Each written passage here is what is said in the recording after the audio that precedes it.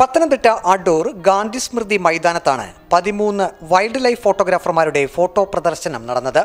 ബുൾബുൾ രണ്ടായിരത്തി ഇരുപത്തി മൂന്ന് എന്ന പേരിലായിരുന്നു പ്രദർശനം.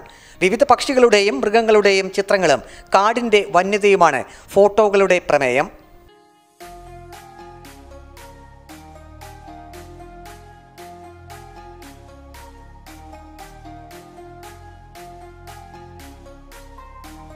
കൊല്ലം പത്തനംതിട്ട സ്വദേശികളാണ് ഫോട്ടോഗ്രാഫർമാർ. പ്രകൃതി സംരക്ഷണത്തിന്റെ സന്ദേശം ഉൾക്കൊള്ളിച്ചാണ് പ്രദർശനം. നൂറ്റി അൻപതോളം ഫോട്ടോകളാണ് പ്രദർശനത്തിനുള്ളത്. പക്ഷികളുടെ ഫോട്ടോകളാണ് കൂടുതലെങ്കിലും മൃഗങ്ങൾ ഷഡ്പഥങ്ങൾ ശലഭങ്ങൾ എന്നിവയുടെയും ഫോട്ടോകളുണ്ട്. വൈൽഡ് ലൈഫ് ഫോട്ടോഗ്രാഫിയിൽ ടൈമിങ്ങിന് വലിയ പ്രാധാന്യമുണ്ടെന്നും രാവിലെ മുതൽ വൈകിട്ട് വരെ ശ്രമിച്ചാലാകും മികച്ച ഒരു ഫോട്ടോ എടുക്കാൻ കഴിയുകയെന്നും ഫോട്ടോഗ്രാഫറും ബാംഗ്ലൂർ ക്രൈസ്റ്റ് യൂണിവേഴ്സിറ്റിയിലെ പി എച്ച് ഡി സ്കോളറുമായ ജെനി ജോസ് മാത്യു പറഞ്ഞു.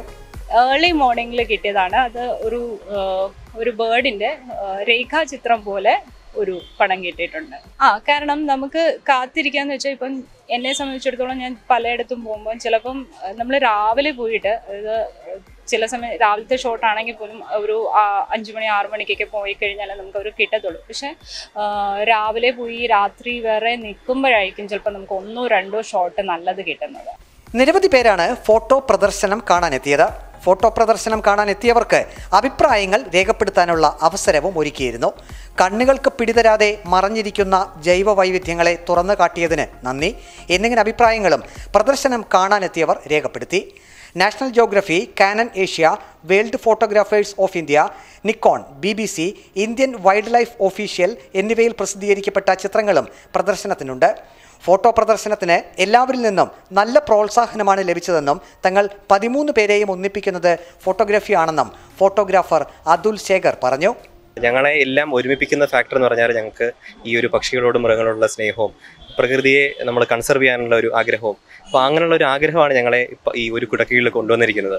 അപ്പം ഈ ഒരു എക്സിബിഷൻ അതിനൊരു നല്ല തുടക്കമായി.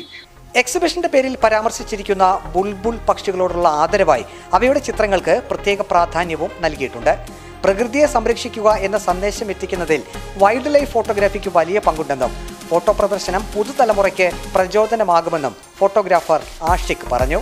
അപ്പം ഞങ്ങളെല്ലാം ഒരുമിച്ച് കൊണ്ടുവന്ന ഒരു ഘടകം എന്ന് പറയുന്ന പ്രകൃതിയെ സംരക്ഷിക്കുക അല്ലെങ്കിൽ പ്രകൃതിയിൽ ഇപ്പോൾ ആൾക്കാർക്കുള്ള അല്ലെങ്കിൽ പുതിയ ജനറേഷനുള്ള ഒരു ഇൻവോൾവ്മെന്റ് കൂട്ടുക എന്നുള്ളതൊക്കെയാണ്. അപ്പോൾ അവർ പുറത്തേക്ക് ഇറങ്ങണം വീടുകളിൽ നിന്ന് പുറത്തേക്ക് ഇറങ്ങണം മരങ്ങൾ മുറിക്കുകയും അല്ലെങ്കിൽ ഇപ്പോഴും നടക്കുന്ന എന്താ അശാസ്ത്രീയമായിട്ടുള്ള കുറേ കാര്യങ്ങളുണ്ട്. അപ്പോൾ അതിനൊക്കെ എതിരെ പ്രതികരിക്കണം. അപ്പോൾ അവരിലേക്കൊക്കെ ഈ ഒരു സന്ദേശം എത്തിക്കാൻ നമുക്കുള്ള ഏറ്റവും വലിയൊരു മീഡിയ എന്ന് പറയുന്നത് ഫോട്ടോഗ്രാഫിയാണ് നാഗമോഹൻ നാട്ടുവേലിത്തത്ത നാടൻ താമരക്കോഴി ചിങ്കാരമാൻ മേടുത്തപ്പി ചെമ്പൻ നത്ത് വലിയ അരയന്ന കൊക്ക് പച്ചച്ചുണ്ടൻ എന്നിങ്ങനെ പുതിയ തലമുറ ഒരുപക്ഷെ കേൾക്കാത്ത പക്ഷികളുടെ ഫോട്ടോകളും പ്രദർശനത്തിലുണ്ട്. Doctor Manojam Kumar D B Shaiju A S Ambadi Krishna K Deepak G K Ajay T R Arun Raj George S George Alan Alex R Nikhila Bright Roy എന്നിവരുടെ ഫോട്ടോകളും പ്രദർശനത്തിലുണ്ട്. ഗംഭീരം പതിമൂന്ന് വൈൽഡ് ലൈഫ് ഫോട്ടോഗ്രാഫർമാർ ചേർന്ന് നടത്തിയ ഈ വന്യജീവി ഫോട്ടോ പ്രദർശനത്തെക്കുറിച്ച് മറ്റൊന്നും പറയാനില്ല. പ്രവീൺ പുരുഷോത്തമൻ റിപ്പോർട്ടർ പത്തനംതിട്ട.